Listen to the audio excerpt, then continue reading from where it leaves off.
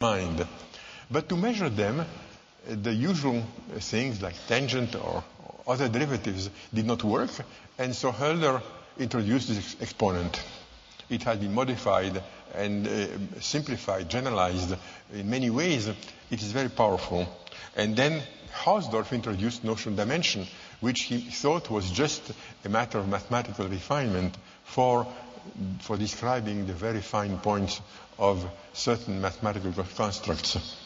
But turns out that one or the other of these, of these um, expressions very often is the proper way of measuring roughness, and they are linked to each other. And then there is something other which comes in as you begin to, in a way, float freely and accept that nature is very complicated, that roughness is very subtle, that roughness reveals all kinds of complications, you find that uh, it is necessary to introduce a concept which sounds like just science fiction, which is that of negative dimension. One replaces the notion of an empty set by a notion of latent set which can have different dimensions. Of course, I have no time to say more, but it's a topic now of great interest. Now let me come to a topic which is very much at the order of the day at this meeting since Wendelin Werner received the Fields Medal. Uh, around 1980, when I was preparing the book that the President mentioned, The Fractal Geometry of Nature, uh, I had a very strong feeling that nobody had looked at Brownian motion for a very long time. Around 1900 or 1920, people did draw simple pieces of Brownian motion the best they could. And then every so often you saw a picture, but it's quite, quite clear that the pictures were there purely to decorate and not to understand. By then I was a skilled observer of complicated shapes, and so I had my assistant draw a very big Brownian motion, and to make it uh, more beautiful, um, I had it end where it started. It is not, it is a, a loop. Why so? Because if you start Brownian motion here and it goes, goes, goes, goes, and here, the different po- points, points of the motion are different. It lacks homogeneity, therefore it lacks constancy. It's too complicated. And if you look for new things in a mess, you try not to look at everything at the same time. So I looked at that. Well, it was messy, all right, and not much clearer. But then it occurred to me, oh, the, that's how it is defined. Uh, it occurred to me that uh, one could perhaps simplify by erasing all these lines inside. So this shape here is one in which the plane is black, but all the trajectories which go from very far away until they hit this island whiten it. So the black is the inside and the white is all the points accessible from infinity. When I saw this picture, instantly I remembered islands which we have generated in our work on geomorphology. i am always very familiar with them.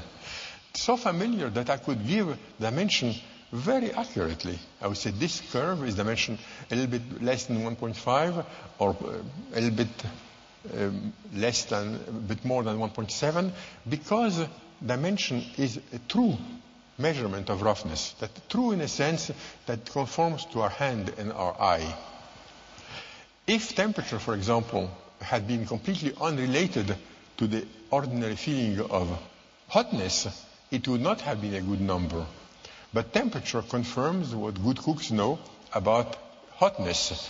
And here, the um, uh, fractal dimension confirms what a skilled eye knows.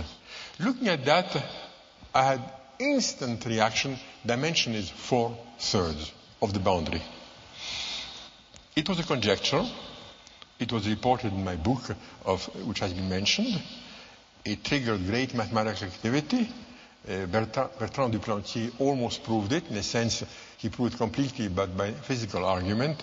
And then Lawler, Schramm, and Werner proved it uh, uh, co- correctly. And Werner uh, has received this medal. He's the youngest in the group. This has been a very difficult problem. First, the people thought it was just a well, something for a weekend, for tomorrow, for a weekend, for a week, a month, a year. a century. finally, it took 18 years. The computer rendering can be creative. That is, if you modify an object and if you make your mind and your hand and so all together, uh, it increases their power enormously. Well, let me continue and um, uh, mention this book. Uh, the very fact that so, ma- so many young people came towards me shortly after this book came out was totally astonishing because nobody expected anything new from this fractal geometry. But in fact, they have come in large numbers. In the bottom, you see a simulation of relief. It's completely fake. Uh, on top, you see this uh, Brownian uh, snowflake, uh, Brown Island. But um, the interest uh, that young people manifest for it is very, very strong. As I mentioned, I don't think it's because of my charismatic personality in the least. It's because humanity has been trained in a world of great roughness, great complication, and is more comfortable with complication than it is with simplicity. Mathematics, uh, um, uh, mathematics uh, is different in that it seeks simplicity and the notion that something is simple mathematically, that should be easy for the child, it was an old belief, but it does not seem to be true. Well, other shapes in physics do the same.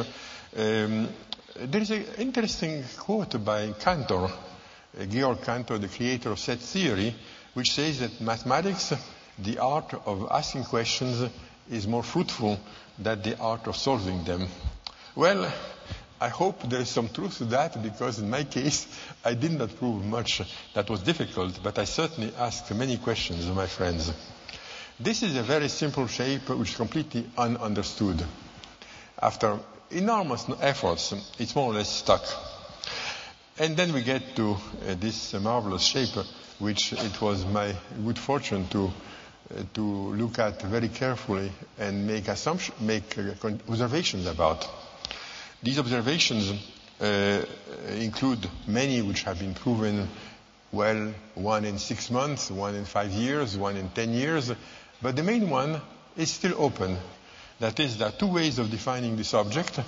I thought they're identical, uh, but knowing my limitations as a, a technician, I did not spend more than 20 minutes trying to prove it.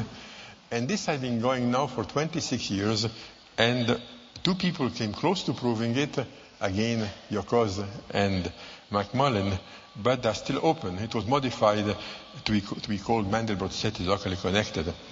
Well, that's what Hubbard says about this set.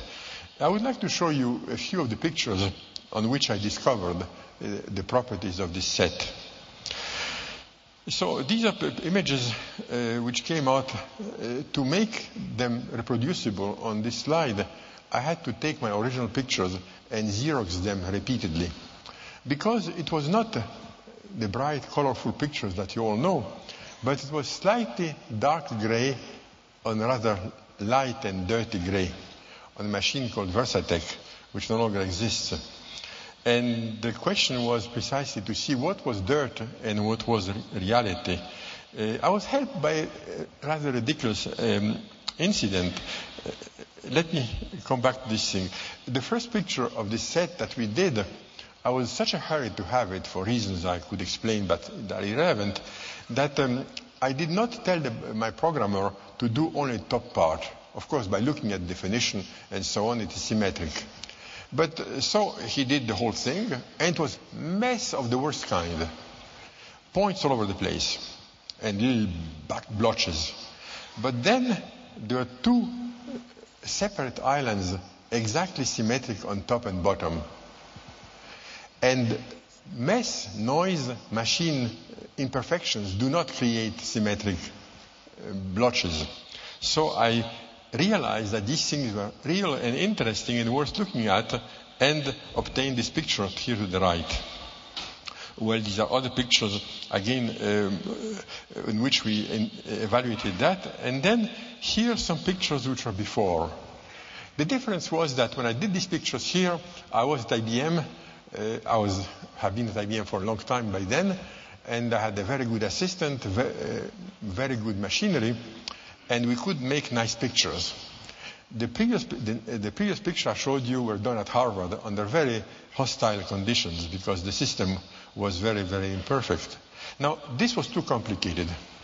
I was looking at these pictures, and we did many pictures like that. Now I understand exactly what they are.